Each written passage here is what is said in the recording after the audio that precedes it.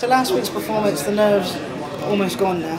Because boot camp was the time to panic, and now's the time just to relax. Because we've made it now. It's the final twelve, so I just need to calm down and sing, and inspire somebody. Because that's what singing's about. Were you pleased with what you delivered last week? I was quite happy that I didn't I didn't freak out. I walked out there and I was calm.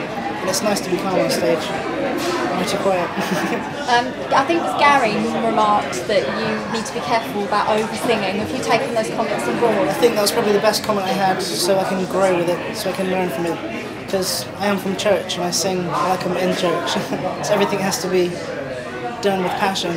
But I need to learn that I need to trust my voice. I have a tone, I can sing the melody and stuff. And just prove to people I can sing a song, and tell you the story. So, what teasers can you give us about your performance this week? Teasers, a little bit more up tempo, maybe a little bit clicking, some dancers maybe. It's just going to be completely different to imagine. Do you dance? I can, I can dance a little bit, got a little bit of rhythm inside me. Do the church step, you know. That's about it.